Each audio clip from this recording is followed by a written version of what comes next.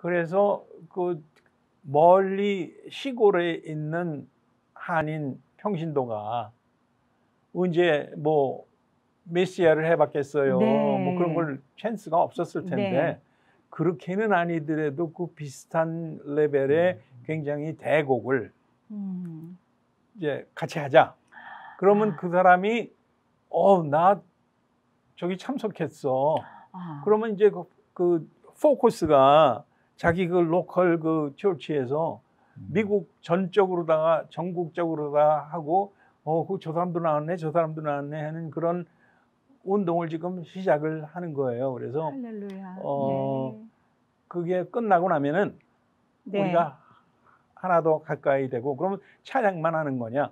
찬양만 하는 건 아니고 예배를 3일간 보는 거예요. 아하. 그래서 예배를 네. 보는 거는 지금 이제 팬데믹이 좀 수그러지고 있으니까 음. 어뭐 어느 교회에서 어 목사님 초청하신 목사님들이 나와서 설교를 하고 찬양 칭종 팀 정도 몇 번은 예배를 보고 그래서 어 실질적으로 거기서 하고 설교도 거기서 하시고 그리고 이제 찬양은 줌으로 붙이는 그런. 네. 생각을 하고 있어요. 그래서 아.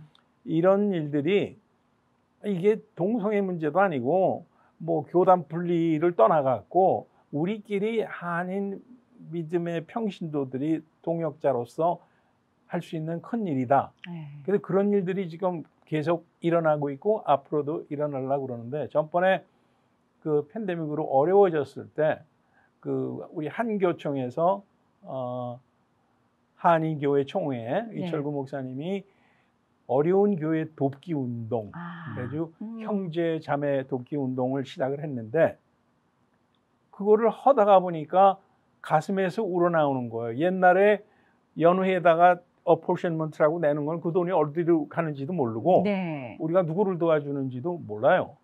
근데 이거는 딱 어느 어느 교회 미국 전체에 흩어져 있는 교회를 돕기로 하는 운동이다 보니까 그 생각보다도 많이 아. 헌금이 모여지고 네. 그렇죠. 어디가 쓰여지는지 그 정확하게 보니까 네, 그럼요. 네. 네, 마음이 더 모여지고. 그리고 예. 요번에 텍사스에서 그 맞아요. 야단 났잖아요. 네, 얘기 들었습니다. 그래가지고 네. 그거를 또 홍보를 했더니 그거를 펀드레이징을 하는 거를 어떤 사람은 상당히 많은 금액을 음. 하겠다고 나오고 그래서 이거다.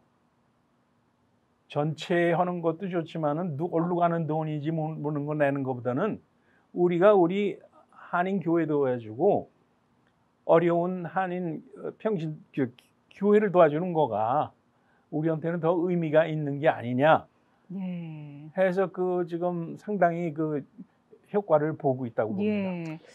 저희가 지난해 네. 그 한인 교회들이 사실은 코비드로 많은 교회들이 재정적으로 다 어렵고 힘들지 어, 않았습니까? 문 닫은 교회들도 네. 많아요, 솔직히. 네. 네. 그래서 사실은 그 형제자매 교회 돕기 캠페인을 하는 것도 어 사실은 전국적으로 호소하고 그러기는 쉽지가 않다고 생각을 했던 것 같아요. 네. 왜냐하면 교회들이 다 어려운데 그렇죠. 또 음. 물론 더 어려운 교회를 돕자고 하는 게 당연하지만 또 다른 한편으로는 어려운 교회들에게 또 부담을 드리는 것이 아닌가 네. 싶어서 사실은 캠페인을 적극적으로 하지 못했음에도 불구하고 어, 네 번 정도 음. 캠페인이 진행되면서 어, 40여 교회 정도가 그 캠페인 헌금을 보내는데 참여하셨고 아, 네. 그리고 도움을 받은 교회가 46개 교회가 지난해 네네. 이미 있었고요.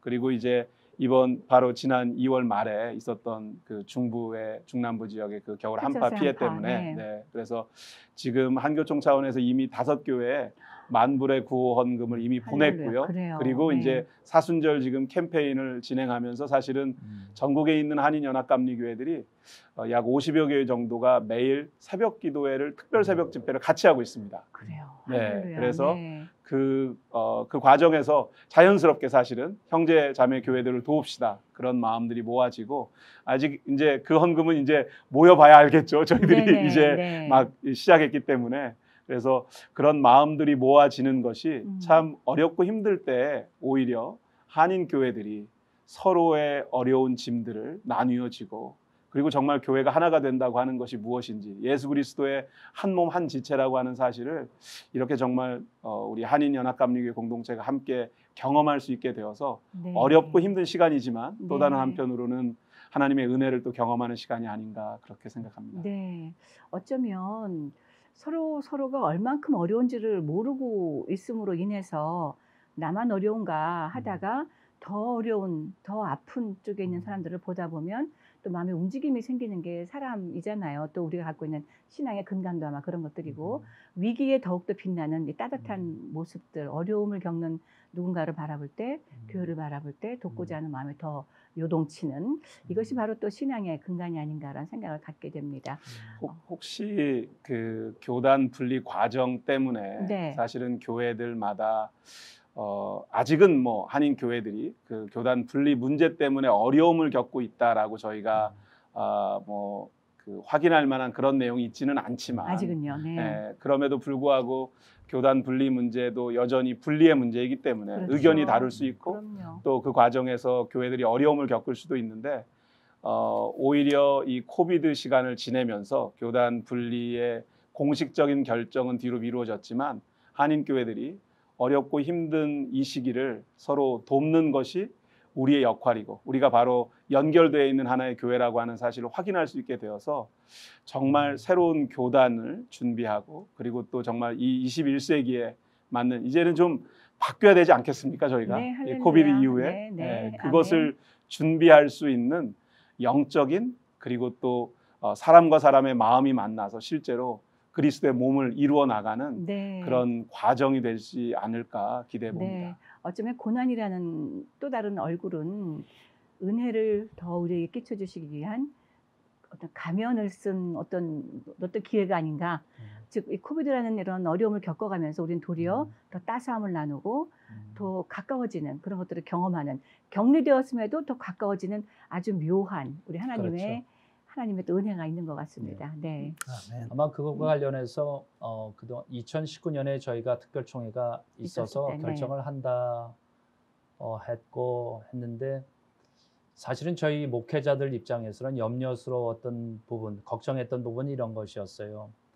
이 성정체성 이슈를 교회 안으로 가져왔을 때 교우들 간에 서로 입장이 다르면 음. 그것이 감정이 상하고 서로 또 불, 분열해 나가는 상황이 있을까봐 저희들이 많이 기도하면서 이 이슈를 다뤘고요. 예, 그런 면에서 사실은 한인교회 입장에서는 지금 우리가 어떤 면, 면으로 어, 결정을 해 나갈 거냐 아니면 지금 새롭게 글로벌 연합감리교회라는 교단을 우리가 새로 이제 만들어 간다 했을 때도 어, 동성애 이슈뿐만 아니라 더 중요한 이슈가 그 뒤에 사실은 숨겨져 있습니다. 네. 그 이슈가 뭐냐면 교회가 이 시대에 맞게 그 덩치만 크거나 아니면 뭐 행정적으로만 교회가 하는 것이 아니라 정말 교회가 각 그 개체 교회에서 살아 있고 또 하나님의 복음을 전파하면서 그 일들을 실제로 감당하는 그런 면에서 우리가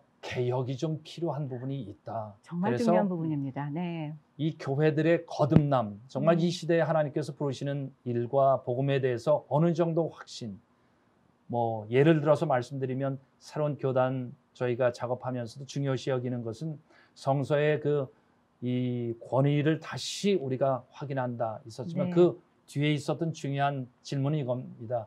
우리가 예수 그리스도를 정말 주님으로 고백한다 하는데 그 고백을 정말 그렇게 받아들이고 주님께 모든 권한을 내어 드리느냐 하는 아, 부분. 네. 그 부분에 있어서 결국은 교단 전체를 개혁하는 것은 우리 안에서의 내부적인 그 개혁이 필요하다. 아멘. 네. 영어로 얘기하면 그게 리뉴얼이라고 우리가 그렇게 이제 예. 어, 쓰고 있습니다. 그래서 그런 부분들을 이제 소중히 여기면서 결국은 한인 교회들이 지금 저희가 하는 것이 동성애 이슈로 논쟁할 것이냐, 음. 그래서 우리 안에 싸우고 할 것이냐, 그래서 투표에서 몇 프로 나왔다 이것을 따지고 어, 우리는 졌다 이겼다가 아니라 저희들이 좀 생각하는 것은 이 시대에 하나님께서 우리에게 부르시는 그 부르심들을 얼마나 잘 감당해낼까 음, 네. 하는 부분에 좀 마음을 모아나가고 있고 그런 면에서 이제 이 평신도 연합회에서 이런 하는 일들이 같이 이렇게 맞물려 돌아가고 또 어려운 교를 돕는 이 그런 일들을 좀